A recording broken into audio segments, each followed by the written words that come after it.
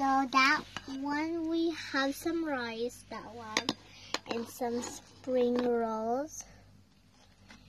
Tilapia with decorated lemon and cabbage and and, and Tomatoes. And then we have some glasses.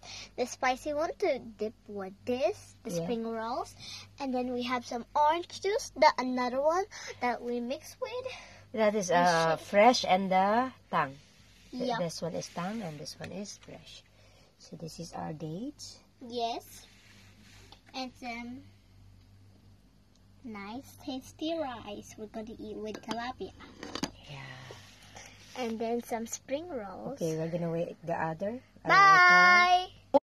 So guys, we are now about to eat, yeah? So this is what we have now. This is our special. The tinolang manok. Okay guys, so we have Takot-takot na. maja blanca. Urong ka doon, Memeng. Urong ka doon ka, tita. Okay. Mga buhok.